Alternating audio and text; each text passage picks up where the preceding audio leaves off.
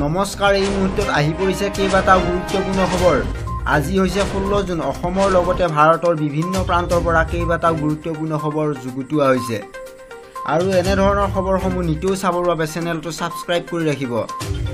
এই মুহূৰ্তত আহি পৰিছে এটা গুৰুত্বপূৰ্ণ খবৰ। ৰাজ্যত ঘোষণা কৰা হ'ল নতুন এছ অ' পি।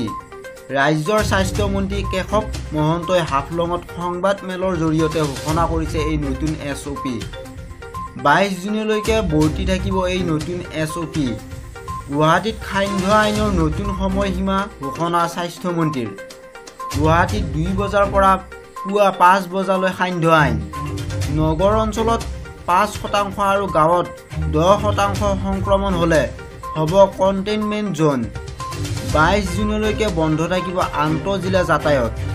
পাঁচ জিলাত কৰোণাৰ সংক্ৰমণৰ ৰোধৰ বাবে থাকিব চোকা নজৰ।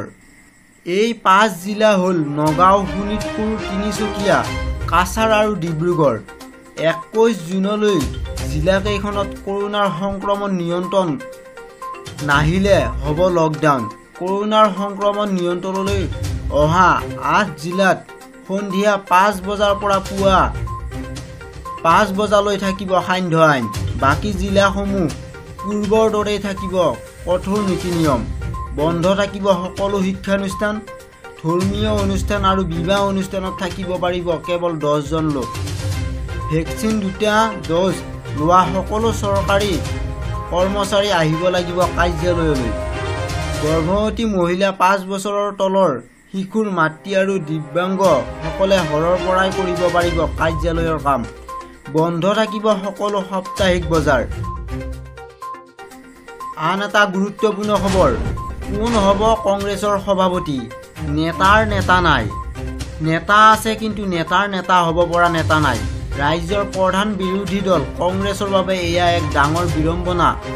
সৌ সিদিনালৈকে শাসনত থকা দেশৰ আটাইতকৈ পুৰণি আৰু সুসংগঠিত দলটোৰ নেতাই ধাৰাবাহিকভাৱে দুবাৰকৈ নিৰ্বাচনত পৰাস্ত হোৱাৰ পাছতো এই পৰাজয়ৰ পৰা কোনো শিক্ষা গ্ৰহণ নকৰিলে। কংগ্ৰেছৰ ভিতৰ চৰাত এতিয়া চৰম বিশৃংখলতা কেৱল অসমতে বুলি নহয়। সৰ্বভাৰতীয় পৰ্যায়তে কংগ্ৰেছৰ পূৰ্বৰ বল বিক্ৰম আৰু এতিয়া নাই। সম্পূৰ্ণ সম্ভাৱনা থকাৰ পাছতো এই দলটোৱে বিৰোধী দল হিচাপে নৰেন্দ্ৰ মোদীৰ চৰকাৰ শাসনলৈ অহাৰ পাছত জনসাধাৰণৰ হৈ জনতাৰ পক্ষত থিয় দিয়াত বিফল হৈ আহিছে। সেই বিফলতাৰ বাবেই এতিয়া এক প্ৰকাৰৰ বিৰোধীহীন গণতান্ত্ৰিক ব্যৱস্থাত শাসকীয় বিজেপিয়ে সৰ্বাসৰ্বা হৈ পৰিছে। ভাৰতৰ দৰে বিশ্বৰ বৃহৎ গণতান্ত্ৰিক দেশ এখনৰ জনসাধাৰণৰ বাবে এয়া চৰম দুৰ্ভাগ্যজনক কথা। নিখিল ভাৰত কংগ্ৰেছৰ সভাপতি কোন? সেই প্ৰশ্নৰ উত্তৰ দিবলৈ এতিয়া কিছু সময় ভাবিব লগা হয়। শাৰীৰিকভাৱে অসুস্থ ছোনিয়া গান্ধী ৰাহুল গান্ধীয়ে কেইবাটাও সুযোগ পোৱাৰ পাছতো নেতা হিচাপে নিজকে প্ৰতিষ্ঠা কৰাত বিফল হ'ল। দলটোৰ আন নেতাৰ হাততো গান্ধী পৰিয়ালে নেতৃত্বৰ ভাৰ এৰি দিয়াৰ যেন পক্ষপাতি নহয় তেনে সন্ধিক্ষণত প্ৰিয়ংকা গান্ধীয়ে নতুন আশাৰ সঞ্চাৰ কৰিব বুলি ভবা হৈছিল যদিও এই পৰিৱেশ আৰু সুযোগ প্ৰিয়ংকা গান্ধীলৈ এতিয়াও অহা নাই। অসমত যোৱা কেইবা বছৰো ধৰি ৰিপুণ বৰাই দলটোক নেতৃত্ব দিছিল। লক্ষণীয় কথাটো হ'ল ৰিপুণ বৰা কংগ্ৰেছৰ সভাপতি হোৱাৰ পাছত ৰাজ্যখনত কোনো এটা নিৰ্বাচনতে তেওঁ সফলতাৰ মুখ নেদেখিলে।